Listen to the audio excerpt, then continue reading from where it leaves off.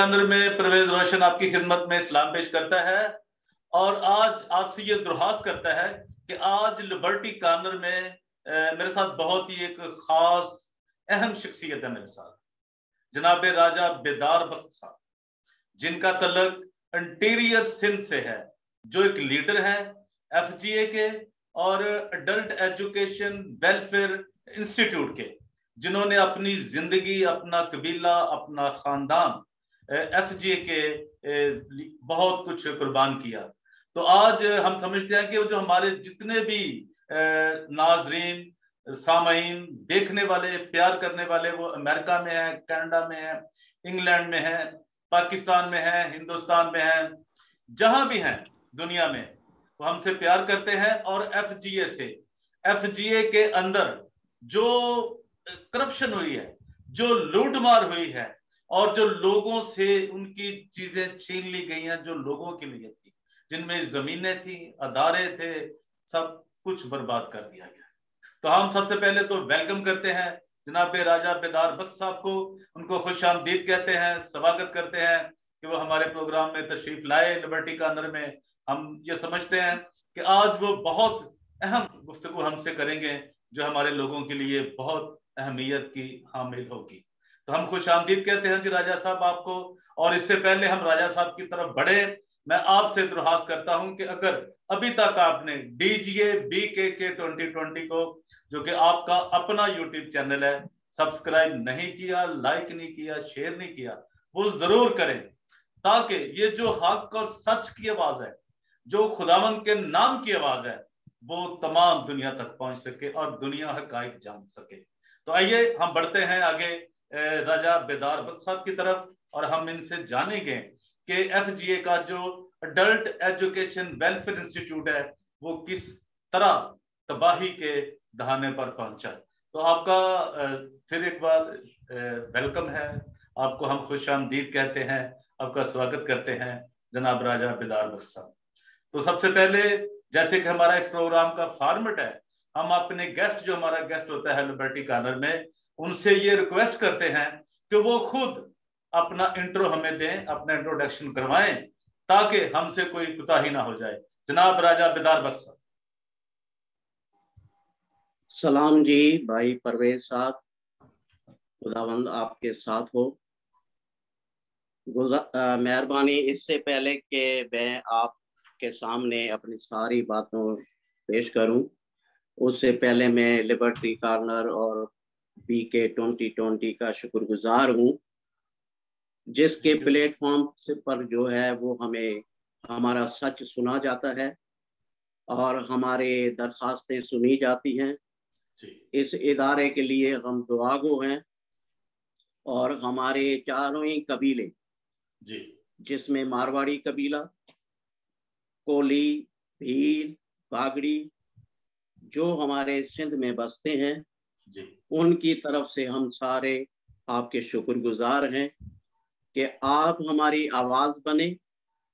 आपने पहले हमारा एक इंटरव्यू किया अब मैं दोबारा ये वीलॉग आपके साथ कर रहा हूँ। तो इसके लिए मैं इस इदारे का और आपका बहुत ही शुक्रगुजार हूँ। थैंक यू थैंक यू आए हम अपने जी। आए हम अपनी बात की तरफ़ बढ़ते हैं। जी। इस अभी मैं आपको अपना तारफ करवाता हूँ कि मेरा नाम जो है वो बेदार बख्त है। जी। और मेरा कबीला मारवाड़ी है और कौम मेरी सिंधी है। ठीक है। और हम हम रहायश पजीर जो है वो सिंध पाकिस्तान में है। जी। तो लिहाजा मैं आपसे ये दरखास्त करता हूँ कि आज के इंटरव्यू के साथ साथ जी। हम हमारी आप आवाज़ बने जी। ताकि हम क्योंकि ये आ, ये प्रोग्राम जो है वो मुख्तसर होता है। जी। तो इसके साथ साथ मैं आपको ये भी दरखास्त करूँगा कि आइंदा भी हमें मौका दे। जी थैंक यू ताकि हम अपने ताकि हम चारों ही कबीलों के आपको जो है ना वो ख्याल आपके सामने रखना चाहते हैं।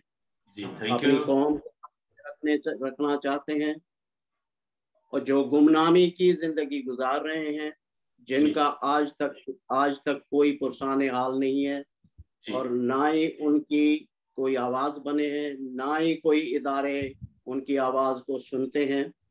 ठीक है। इसी इसीलिए ये जो दस साल से हमारे इदारे के साथ खिलवाड़ हो रहा है जी। और हमारे साथ जो किए हुए वायदों से जो मुनारफ हुए हैं। जी जी। तो हमारे चारों चारों कबीले इस वक्त दस साल से खामोश हैं। जी। उसकी वजह यह है कि कोई सुनने वाला नहीं था। ठीक है। मामलात मामलात इदारे में मामलात जो है वो कोर्टों तक हैं। जी। और कोर्टों में दो पार्टियाँ एक दूसरे के मद्दे मुकाबल हैं। ठीक है। जिसमें एक एक ग्रुप जो है वो लियाकत कैसर साहब का है जी। सदीक साबर साहब वालों का है जी। जो Full Gospel Assemblies of Pakistan है। जी ठीक है। और एक ग्रुप है जो एफ़ जी एफ़ जी ए का वो है Full Gospel Assemblies Adult Education Welfare Pakistan. ठीक है तो आज जो मैं आपसे बात करूँगा वो एडल्ट एजुकेशन के इदारों के मुतलिक होगी। जी थैंक यू कि इस इदारे में किस तरह से जो है ना वो काम हुआ जी। और अब क्या पोजीशन है ठीक है और क्या आइंदा उनके इरादे क्या हैं ठीक है। और वो हमारे साथ क्या करना चाहते हैं ठीक है। ये मैं आपके सामने पेश करूँगा। जी थैंक यू तो इस तारुफ के बाद मैं आपसे ये जिन पहले प्रोग्राम को जिन भाइयों ने नहीं देखा है जी। तो इसलिए मैं वो मैं वो खुलासा भी पेश करना चाहता हूँ बहुत अच्छा बहुत ये अच्छा। इदारा हमारा तक हाँ ये इदारा हमारा तकरीबन चौहत्तर में 1974 से ये सिंध हैदराबाद में वजूद में आया। जी। और ये मारवाड़ी कबीले ने शुरू किया। हम्म, हम्म।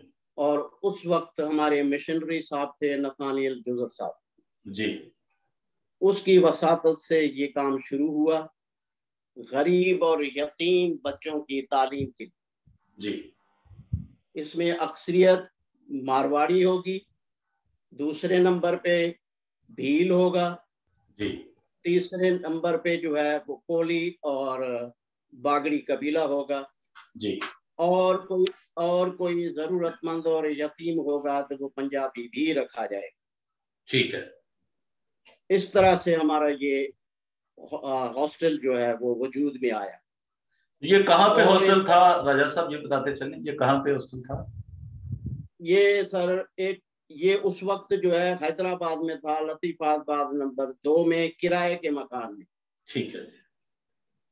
और हमारा जो पादरी था वो हम्म। भाई सोनलाल साहब हैं। पास्टर जो है वो सोनलाल साहब थे। जी जी। और उस कलेसिया में हमने ये काम शुरू किया। जी। तो 90 सेवेंटी फोर से शुरुआत जो है वो मेरे हमारे पादरी साहब हैं वो भी मारवाड़ी हैं। और वो भाई रोबन है पास्टर रोबन साहब। जी। उन्होंने भाई नथानियल के साथ ये काम शुरू किया।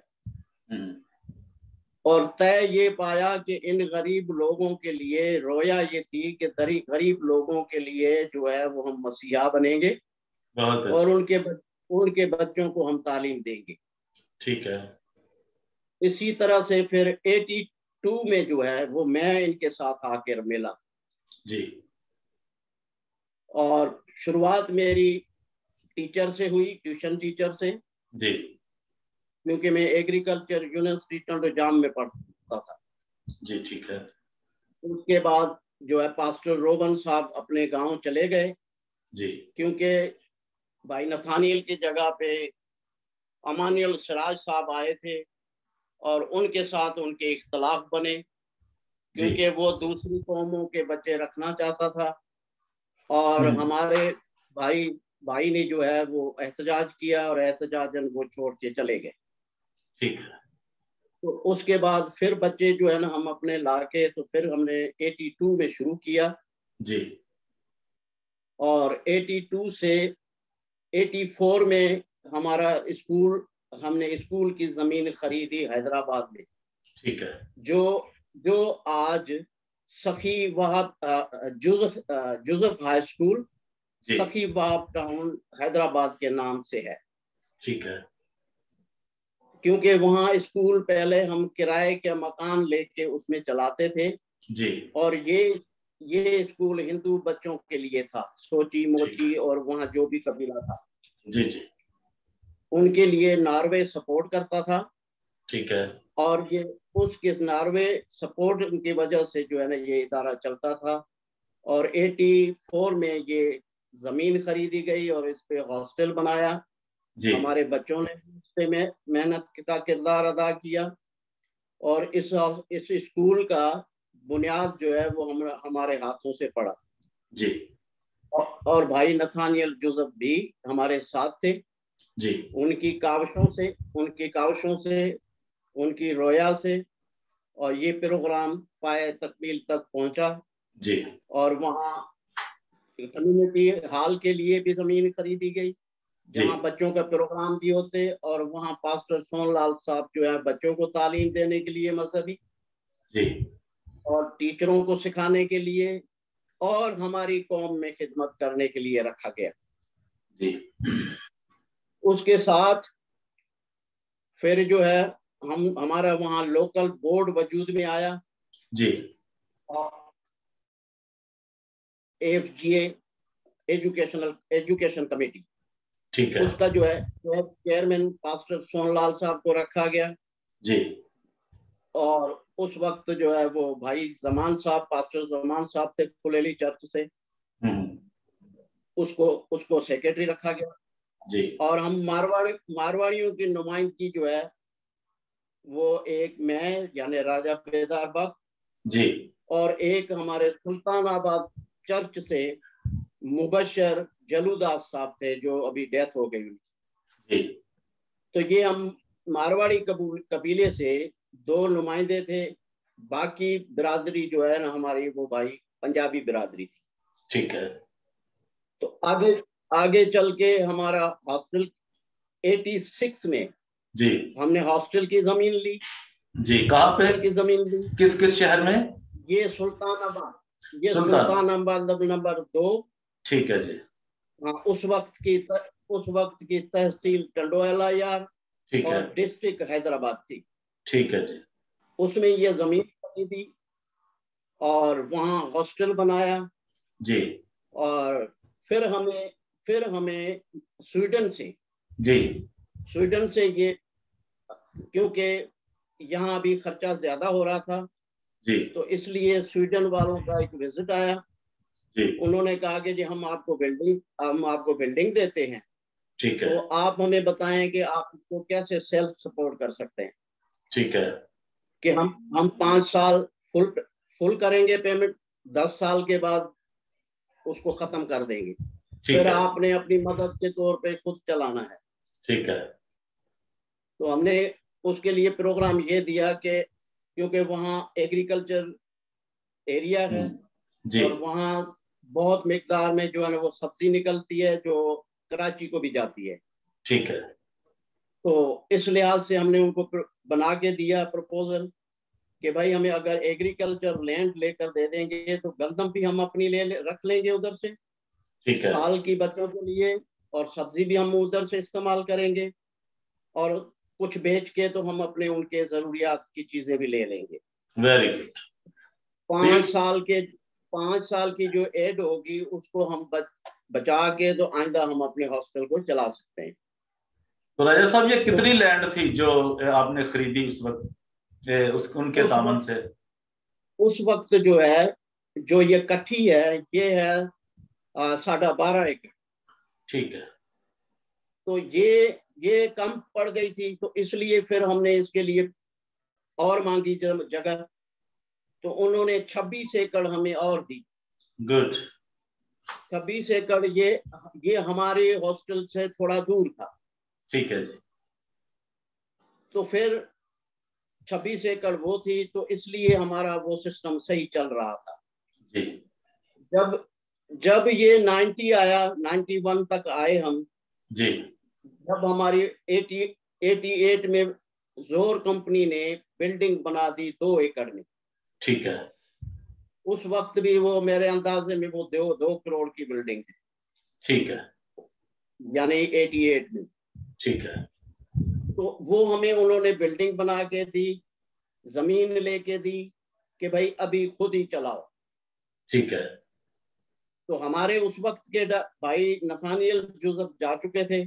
जी। वो बशाम वो बशाम जा चुके थे। हम्म हम्म, और उसकी उसकी जगह पे भाई लोन ग्रेन ये बू लोन ग्रेन ये स्वीडन से था वो डायरेक्टर आया। जी। तो वो 82 तक हमारे साथ रहा। जी। उसके उसके बाद 83 में आके हमारे साथ फिर इख्तलाफ हो गया। ठीक है। क्यों इख्तलाफ हो गया कि वो जो ज़मीन हमने 26 एकड़ ली थी हम्म, वो याकूब पाल के पास्टर याकूब पाल के नाम से ली थी। ठीक है। समझे? तो अब ये बेचना चाहते थे उनको। कौन बेचना चाहता था? ये जो उस वक्त हमारे एफ़ जी ए मतलब है कि F G A of Pakistan जो है समझे ना? जिसमें उस वक्त के जो चेयरमैन थे इनका जिस तरह से अभी सदीक साबर हैं। Full Gospel Assemblies of Pakistan यानी जो मजहबी जमायत थी। जी। क्योंकि क्योंकि उस वक्त इसकी डायरेक्टर जो थी भारत वो जो है वो सिस्टर बरगीता थी। ठीक है। समझे? तो इस इसलिए उन्होंने जो है ना साजबाज करके ये हमें लॉलीपॉप दिया हम्म, कि ये ज़मीन दूर है तो आपको हम नज़दीक लेकर देते हैं। ठीक है। नहीं किसने लॉलीपॉप दिया आपको? सिस्टर ब्रगीता ने या किसी और ने? नहीं नहीं नहीं सर सिस्टर बरगीता ने नहीं। ये उस वक्त जो इंतजामिया थी। उस वक्त की जो एफ़ जी ए की। उस वक्त जो एफ़ जी ए की इंतजामिया थी। ठीक है। उन्होंने तो आपको आपको याद है कि उस वक्त कौन लोग थे सिस्टर ब्रगीता के वक्त में? अगर आप सर। अगर आप बताना चाहें तो आपकी मर्ज़ी है। जी। ये एटी वन या उस वक्त की मुझे पूरा उनका नाम नहीं है क्योंकि मेरा उनसे रबता कम रहता था। ठीक है। मेरा शुरू से इनसे रबता कम रहता है। ठीक है। तो हमने एतराज़ किया कि भाई ये आप ज़मीन ना बेचें। ठीक है। तो उस एतराज़ का नतीजा ये निकला कि उन्होंने हम पर जो है ना वो थोड़ी सख्तियाँ शुरू की हम्म। और इख्तलाफ शुरू हो गए। फिर निकालने की कोशिश की गई। ठीक है। इसमें इल्ज़ाम भी आए नाराजगियाँ भी हुई खफकियाँ भी हुई ये सारा होने के बावजूद फिर हमने बेहतर समझा के हम इनके साथ नहीं चल सकते। जी। तो फिर मैं रिजाइन दे के तो अपने चला गया। ठीक है। हॉस्टल हॉस्टल छोड़ के। ठीक है। ये मैं जब ज़मीन इन्होंने बेची उसके बाद एटी नाइन्टी थ्री में नाइन्टी थ्री में इन्होंने ज़मीन बेची वो छब्बीस एकड़। ठीक है। उसका सहूलत कार जो है हमारा कमेटी का ही चेयरमैन जो है सोनलाल साहब। ठीक है। समझे ना? उन्होंने जो है ना वो ज़मीन बेची। यानी सोनलाल साहब जो थे पास्टर सोनलाल साहब फैसिलिटेटर थे उसमें सहूलतकार थे वो उनको ये सारी सहूलतें फराम करने में बेचने में हाँ। सेल आउट करने में। हाँ जी। जी जी। हमें हमें उन्होंने हमें उन्होंने लेटर दिया एफटीए वालों ने कमेटी वालों ने जी। सोनलाल साहब वालों ने कि ऊपर से बजट बंद हो गई है। ठीक है। तो लिहाजा हम हॉस्टल बंद कर रहे हैं। तो अब जब हॉस्टल खोलेंगे तो फिर आप आए। ठीक है। तो इन्होंने हॉस्टल बंद करके हमें निकाल के फिर हॉस्टल तो रनिंग में ही था इन्होंने सिर्फ़ हमें निकालना था। ठीक है। बाद में इन्होंने जो है ज़मीन बेच दी उसी वक्त ज़मीन बेची थी जिस पे हमारा इख्तलाफ हुआ। जी। और 95 में फिर मैं चला गया रिजाइन दे के। उसके बाद सर ऐसा हुआ कि हमने वापसी इस इदारे की तरफ़ ना हम आना चाहते थे। जी। क्योंकि हमारे कबीलों को जब इन्होंने रिजेक्ट ही कर दिया जी। और हमें बिल्कुल निकाल ही दिया निकाला इस इस अंदाज से कि जब पाँच साल पूरे हुए कि हॉस्टल अभी सेल्फ सपोर्ट होगा जी। तो फिर हमारी ज़रूरत नहीं थी क्योंकि हमारी ज़रूरत तो उस वक्त होती है इन बिरादरी को भाइयों को। जब हमारे बच्चों बच्चों की तस्वीर लें और अपने इदारे बनाएँ और हमारे बच्चों को शो करें और हमें गरीब शो करके ये सारे इदारे बना के आखिर में हमें निकाल के और ये बेचने बेचने की कोशिश करते हैं। ठीक है। ये एफ़ के साथ साथ हमारे ओवरऑल सिंध में ये काफ़ी प्रॉब्लम चल रही है। ठीक है। तो इस इसके लिए मैं फिर दोबारा किसी भी लॉग में आपसे ऑफ़ कोर्स ऑफ़ कोर्स ठीक है अब इस वक्त पोजीशन ये है सर कि ये पहले जो है ये सारे आपस में सहूलतकार थे। ठीक है। सारे ये दोनों ग्रुप एक दूसरे के साथ थे। हम्म। हमारे निकालने में भी। हम्म। और फिर दो 2012 में जी। जब ये पसंदीदा जोड़ा था इनको जो उबेद फराज और शीरी फराज आप सुन रहे हैं आजकल। ठीक है।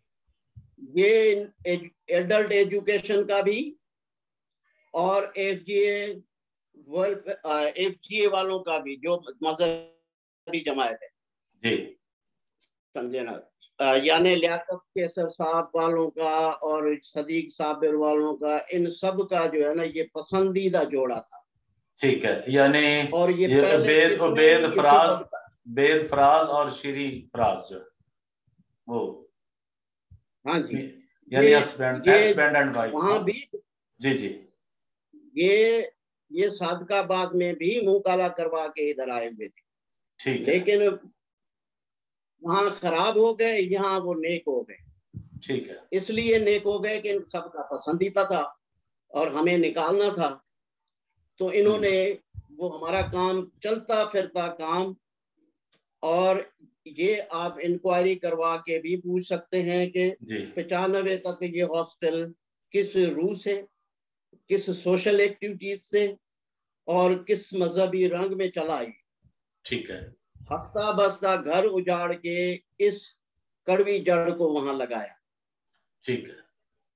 ये तो इख्तलाफ इनमें उस वक्त पैदा हुआ जब इसके बदकारी की स्टोरी जो है वो सुल्तानाबाद से शुरू हुई। ठीक है। किसकी बदकारी? श्री श्री उबैद की श्री फराज जन। और उबैद फराज की जब 2012 में हम्म, मीडिया में भी आ गया कोर्ट कचहरियों में भी आ गया क्योंकि इन पर पहला इल्ज़ाम जो है वो बच, छोटे बच्चों को बाहर बेचने का था। ओ, 2012 में पहला इल्ज़ाम जिसमें अखबारें भी निकली हम्म, और जब ये सारे इल्ज़ाम हमने सुने और अखबार में पढ़ा तो फिर हम गए उधर वहाँ पता करने। जी ठीक है। भाई नथानियल जुजफ 2014 में वहाँ आए। ठीक है। और हम जब हम जब वहाँ हमारे वहाँ खाते में जो है वो बिठाए हुए थे तो हारी बरकत मसीह और बशीर मसीह ये दो फैमिलियाँ वहाँ बैठी ठीक है। बशीर बशीर मसीह की डेथ हो गई। ठीक है। तो उसके अफसोस भी करना था और इसके मालूम भी करनी थी। ठीक है। तो जब वहाँ गए तो वहाँ हॉस्टल के बच्चों ने जी। आके सारी अपनी जो है ना रुदात बताई हम्म, और फिर उन्होंने अपनी मर्ज़ी से ये सारे वीडियो कॉल्स हमें दी। ठीक है। और सिर्फ़ वो उसका बेस ये था कि उनकी बातें हमने सुन के कि अगर हम इसी तरह उनको सुनाएँगे तो वो हमारी बात पे यकीन नहीं करेंगे। ठीक है। तो उनको हमने कहा हमने कहा भाई अगर आप इस तरीके से आप देते हैं तो हम आपकी आवाज़ वहाँ तक पहुंचाएँगे। ठीक है। और इसी तरह से हमने उनको वीडियो कॉल वीडियो जो है ना क्लिप्स लिए जो कुछ क्लिप्स आप तक भी पहुँची है। जी श्योर तो उन्होंने अपनी मर्ज़ी से और मर्ज़ी से और खुशी से वो इंटरव्यू दिए। ठीक है। और वो सारे इंटरव्यू लेके वो सारे इंटरव्यू लेके तो भाई नथानियल जुजफ जो है वो उनको वापस नॉर्वे जाना था। उनकी छुट्टियाँ खत्म थी। जी जी। तो वो वो वापस चले गए तो मुझे कहा कि आप जो है ये आ, भाई जॉर्ज विलियम है पिंडी में जी। वो हमारा दोस्त भी है हमारा जमायत भाई भी है और अभी बोर्ड में वो एक्टिव है तो आप ये दरख्वास्त उनको दें शायद वो पेश करें उनके साथ और इन बच्चों की सुनी जाए। ठीक है। तो इस तरह से वो उनको क्लिप देने के बाद उसने अपना ही फ़ायदा ले लिया। जॉर्ज विलियम ने।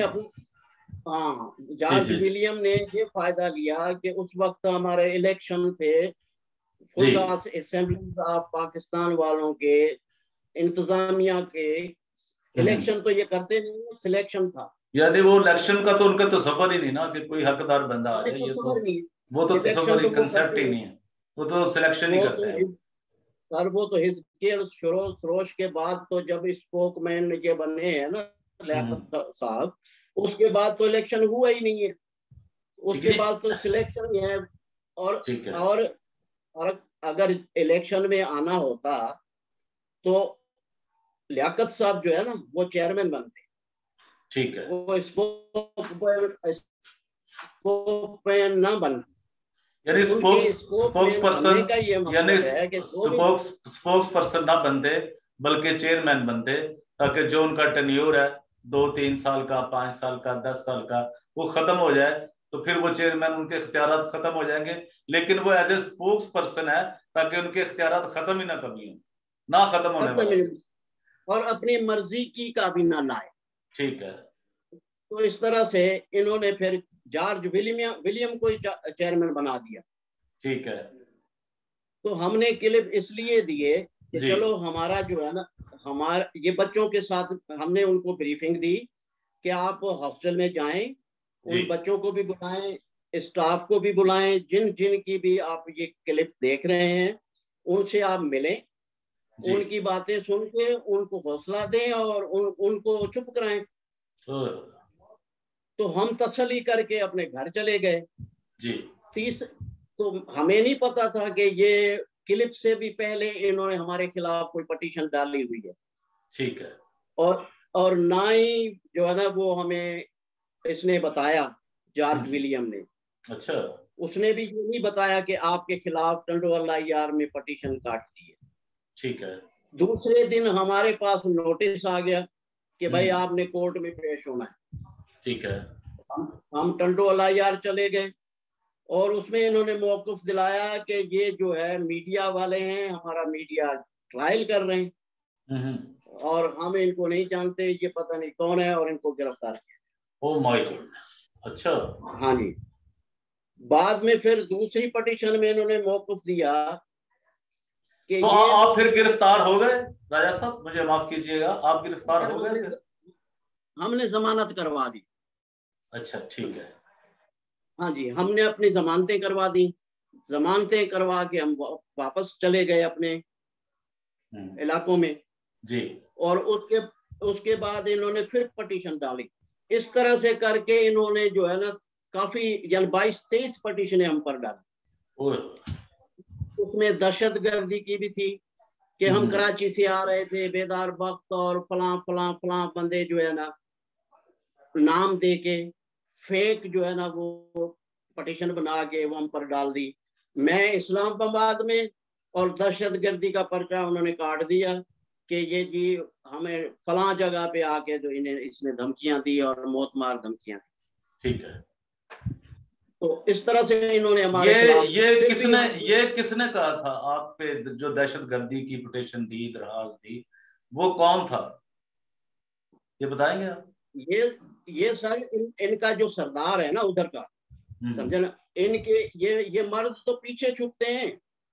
इनमें मर्द इसमें इनमें मर्द कौन सा है?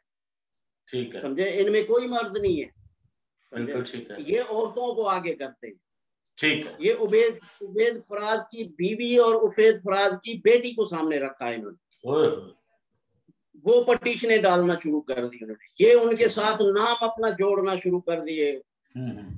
शुरू कर कर दिए। और इनके सहूलतकार और इनके बेक डोर पे तो Full Gospel Assemblies of Pakistan थी। और इस में इनकी आशीर्वाद इनको थी।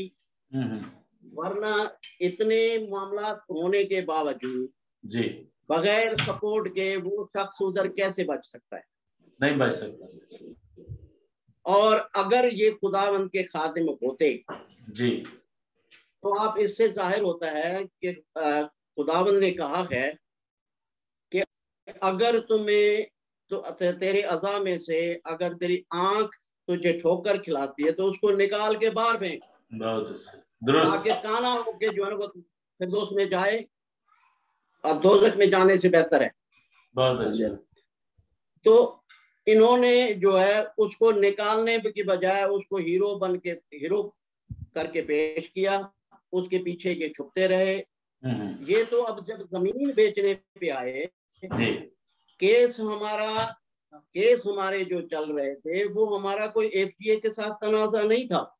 जी। हमारा एक लियाकत कैसर वालों के साथ हमारा तनाजा नहीं था। जी। ना इंतजामिया के साथ हमारा तनाजा था। सही। हमारा तो हमारा के हमारा भी केस नहीं था। ठीक है। समझे केस तो किया केस तो किया था बच्चियों ने। जिनके साथ ज्यादती हुई जिनके साथ ज्यादती हुई। उन्होंने केस किया था उबैद फराज और शेरी फराज के खिलाफ। जी जी। कि हमारे साथ ज्यादती हुई है। और हम्म। स्टाफ ने स्टाफ में जो है ना चंद लोग जो है उन्होंने जो है ना अपने स्टेटमेंट दी कि इन्होंने अवैध फराज ने और शीरी फराज ने हमारे साथ ज़्यादा ठीक है।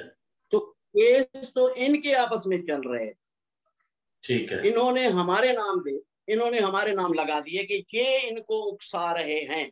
ठीक है।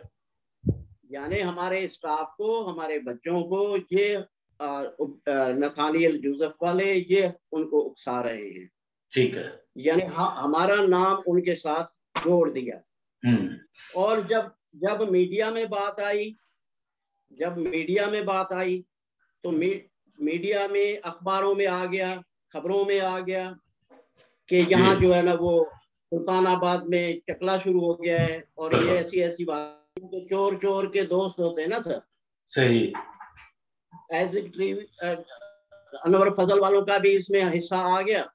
जी। अनवर फजल वालों ने भी इसको लेटर दे दिया कि ये अच्छा आदमी है। ठीक है। समझे ना? वहाँ के जो भी इस जिन जो इनके सहूलतकार थे जिनके पास इन इनके हॉस्टल में आने जाने वाले लोग थे बड़े लोग। जी। वो भी इनके सहूलतकार बन गए क्योंकि उनको यहाँ इनके हॉस्टल में फैसिलिटीज़ दी जाती थी। तो इस तरह से इसको तो इसको राजा साहब आपका ये आज बहुत टाइम वाले जो प्रोड्यूसर साहब हैं वो हमें इजाज़त नहीं दे रहे तो मैं माफ़ी चाहता हूँ लेकिन आपकी तो ये हमें दो तीन चार एपिसोड करने पड़ेंगे। और ताकि जो हकायक हैं जो हकायक हैं वो दुनिया के आगे खुदा के आगे रखे जाएँ कि यार ये कितने जालम लोग हैं और इन्होंने किस तरह के जुलम किए हैं मजहबी लुबादे पहनकर। इन्होंने खुदा का क्रॉस गले में डालकर किस तरह कमज़ोर लोगों के ऊपर किस तरह यार गरीब कबीलों के ऊपर इन्होंने जुल्म किया है। और ये जो इन्होंने गंदगी फैलाई है कम से कम वो तो लोगों तक पहुँच सके ना जी। जो इन्होंने बेशर्मी फैलाई है जो बगैरती फैलाई है और जिन्होंने जिनसी हरासगी फैलाई है लोगों तक उसकी आवाज़ जा सके। जी राजा साहब अभी हम क्लोजिंग की तरफ़ जाएँगे क्योंकि हमें टाइम जी। आखिर में मैं मेरी सिर्फ़ एक अपील सुन ले। जी। आखिर में आखिर में मेरी अपील ये है कि मेहरबानी करके हमारी चार कबीलों को टाइम दें। ठीक है। और हमारी बात सुने। जी। और हमारी बात जो है ना स्वीडन नॉर्वे तक पहुंचाएँ ठीक है कि हमारे कौम के साथ हमारे कबीलों के साथ किस तरह के यहाँ जो वायदे करके खिलवाड़ करते हैं। ठीक है। तो ये आखिरी मेरी अपील हो गया थैंक यू आज के लिए हम राजा साहब से बेदार बख्श साहब से बहुत सी बातें हमने करनी है। अभी फिर आगे हम इनके साथ वीलॉग करेंगे इनकी बहुत सी बातें सुनेंगे वो हकायक जानेंगे। कि जो एफ़ जी ए ने एक खिलवाड़ किया है जो गुल खिलाए हैं लोगों की, बच्चियों की, बच्चों की जिंदगियाँ तबाह की हैं, वो उबैद फराज ने, श्री फराज ने, और जो भी उनके गैंग है, सारी एफ़ जी ए वाले, ये लियाकत है, कैंसर है, जो भी लोग हैं उनके साथ मिले हुए हैं। तो आज के लिए इतना ही। लिबर्टी कॉर्नर में प्रवेश रोशन आपसे इजाज़त चाहता है। इस उम्मीद के साथ कि अगर अभी तक आपने इस चैनल पे अभी नए आए आप, या आप भूल गए हैं सब्सक्राइब करना ज़रूर करें, ताकि ये जो आवाज़ है, हक सच की, ये तमाम दुनिया तक पहुँच सके। खुदावंद आप सबके साथ हो। Thank you very much thank you God bless you thank you sir thank you thank you sir